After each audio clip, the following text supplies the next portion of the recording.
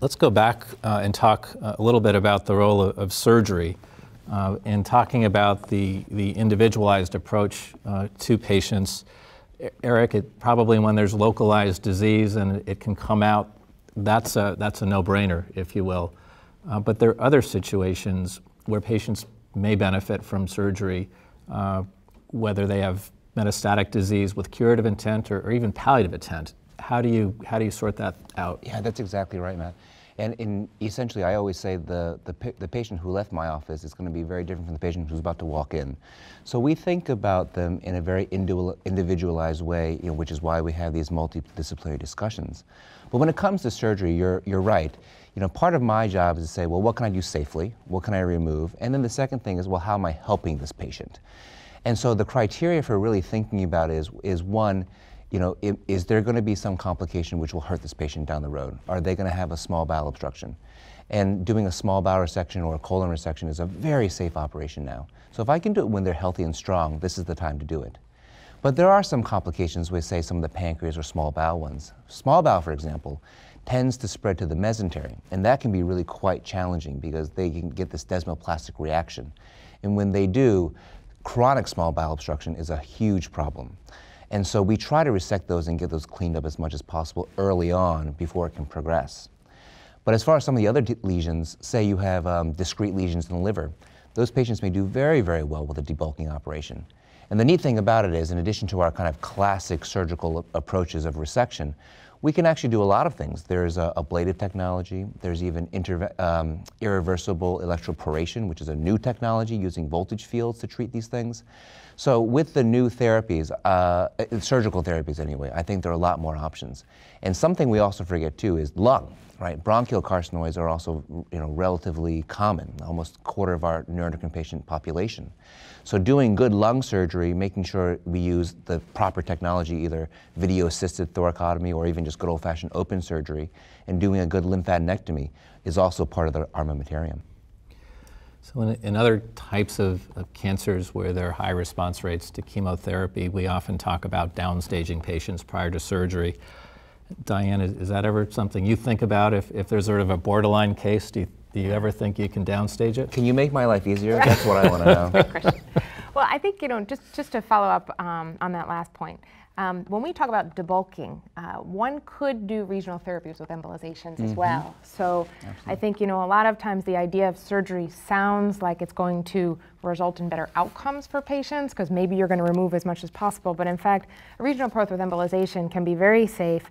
Um, and depending on the type of embolization that you select can often be done repeatedly. So it's also something to consider. Um, but the question of neoadjuvant therapy is a great one. So um, one can define that in many different ways. Presumably you can even embolize in a neoadjuvant setting. Um, and then traditionally, at least in other cancers, we use chemotherapy, cytotoxic chemotherapies. I think targeted agents and somatostatin analogs, um, the role could probably be questioned using first um, to certainly, uh, it's unlikely that it would shrink the cancer in that respect. Um, but I think, um, particularly with pancreatic neuroendocrine tumors, if you have a, a tumor that has not metastasized and looks to what the surgeon would call borderline, um, many times we have considered temozolomide-based therapy in those patients uh, in efforts to shrink that cancer and then have it removed, potentially for curative intent. So I think there certainly is a role for neoadjuvant therapy, but it's a little bit more limited in our disease.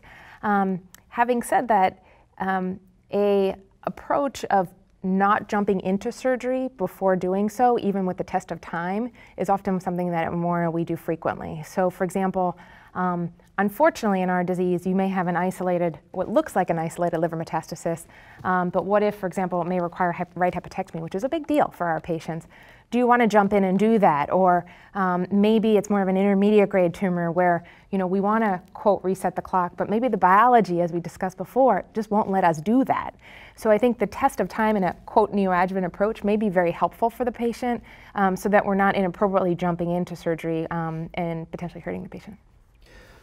So you mentioned embolization, and one really tough question that, that comes up a lot uh, is when you have a patient with three, four liver metastasis, should they be embolized or should they get debulking surgery? Uh, Eric, yeah. maybe you want to start off yeah. with that and give I, us a surgeon's I actually have pretty strong feelings about that yeah. because um, the embolization techniques we have now, uh, you know, maybe in a setting of an aggressive type of adenocarcinoma, they may not survive long enough to see the long-term consequences. But uh, while they're, you know, we're talking about radioembolization, bland embolization, chemoembolization, your, your choice a little bit. Um, since our patients live for a long time, we can actually see these long-term sequelae. So it is something to think about. Um, so you want to make sure you choose the right therapy. So, and if you're if you're taking three or four, you know, tumors which are maybe possibly well behaved, maybe you don't want to, uh, you know, subject the liver to all that. So the good thing is that actually um, surgery is still a very effective therapy. So if they're round, discrete, they can either be enucleated or just wedged out. It can be done very, very safely with our new therapies.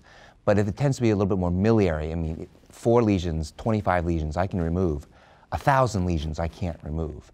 So that may be a more um, useful setting for a more diffuse type of therapy like embolization. Yeah, I mean, I, I agree that radioembolization really for our disease um, I get a little worried about using because we don't know the long term. Um, we've used bland embolization for a couple of decades, and I think in the setting of progressive disease, the benefit is that you are treating the whole liver. I think most of us um, recognize that when you're really removing those three to four tumors, there, there's more there. We know that there's more there, so it is absolutely not curative.